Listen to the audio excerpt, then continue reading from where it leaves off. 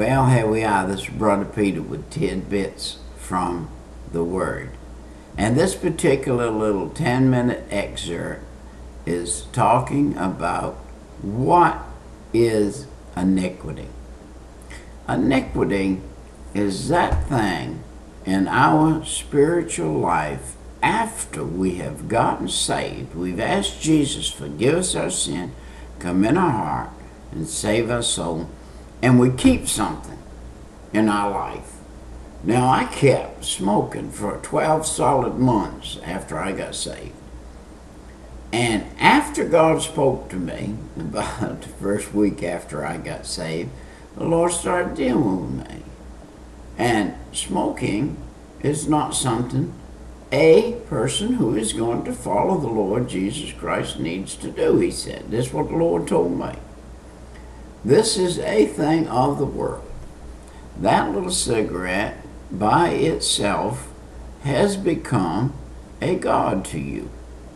And when that God calls, you go. And the Lord God of heaven said, You cannot serve two masters. Now I'm calling you to follow me with everything in your life. That means I'm going to require you to be accountable for what you do with the dollar bills that go through your hand. Now, not only is the cigarette a God to me because it's a fleshly thing, and it is a desire to have that which is not good for the physical body. And it's not good for the spiritual witness. That I'm doing the same thing the world's doing, and I'm saying I'm not like the world. I'm, I'm saying I got saved. I'm saying I'm doing the opposite. I'm saying I'm living the opposite. I'm saying I'm going to clean up, wash up, do away with these things. And yet I'm portraying that I'm doing the same thing. Not only am I doing that, I'm wasting the substance God gave me, the money God gave me. Wow.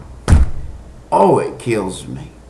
I'm talking with people who are sitting with a pack of cigarettes, two packs, three packs, sitting there, and they're smoking them up, and they wouldn't give a dollar to the neighbor next door who needs a drink of water. They wouldn't give a dollar bill to the to a bum on the street. Yet they would burn it up and throw it down. Not only, wow, I don't need to get on this subject because this subject burns me up. That's kind of a conundrum, isn't it?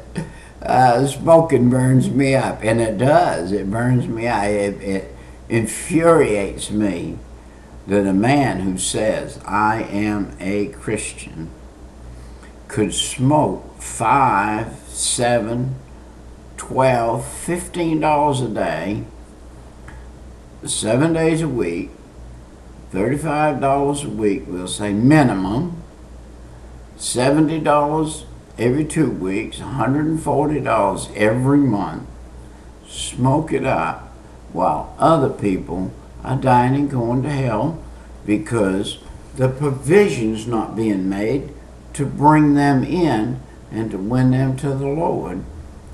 And that man that's taken this provision God gave him and he's burning it up. And oh my goodness, that, that really bothers me. Psalm 51. Find your Bible right now. Put this machine on hold. Find your Bible. Get it, open it to Psalm 51. Keep it there for a day or two. Meditate. Meditate. Meditate. Take the first verse. I could talk 10 minute excerpts from now until the stars fall out of heaven on the first verse. The first two words have mercy. have mercy.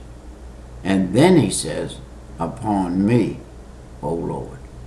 Here's a man asking God to have mercy on him. According to the multitude, God, you have all of these mountains and these heaps and these piles of mercy. And you have this multitude and these piles of tender mercy. Wow. It's one thing to have a piece of steak. I have no bottom teeth. I can have a piece of steak. You can give me steak all day and I can put it in my mouth, chew it out, and I got to spit it out or swallow it whole because I can't chew it out. But it's another thing to get a tender piece of steak that I can chew up and it becomes granulated and I can easily swallow it and digest it. This is what David's for, asking for. David said, Lord, I know you got mercy, but I need some tender mercy.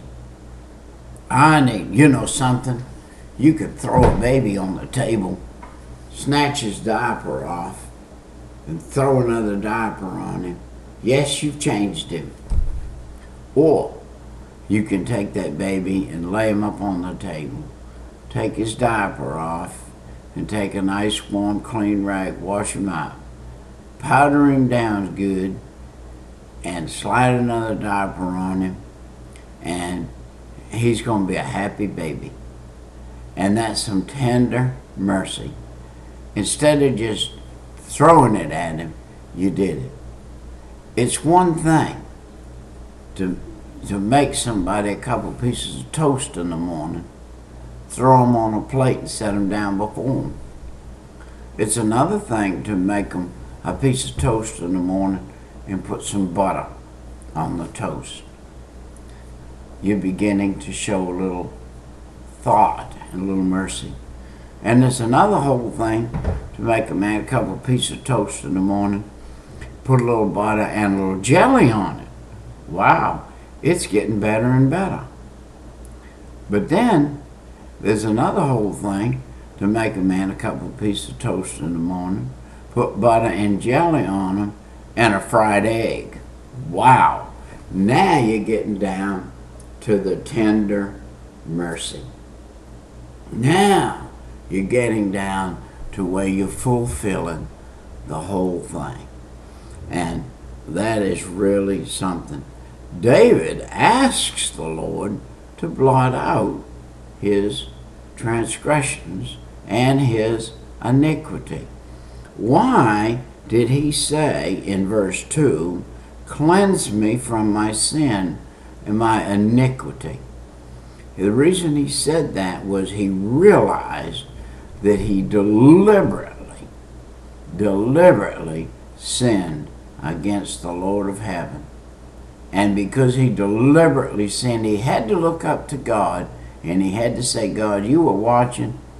I was watching you. You were watching me. I was looking up to see if you were looking down. And you were looking down to see if I was looking up and you were looking to see if I was going to be obedient or disobedient. And I was looking to see if I was going to get punished if I was disobedient. And now I see I am being punished in my own mind, and my own heart is condemning me because I continued in and did what I wasn't supposed to do. Now, I acknowledge my sin. Look, where is that? Verse 3 For I acknowledge my transgression, and my sin is ever before me. Whatever it was he did, and we know what he did here, but, but just whatever it is you do, this is sin before God, and I've done it. I've done it over and over and over again deliberately sin against the Lord, and he has taken his tender mercy and put it over me.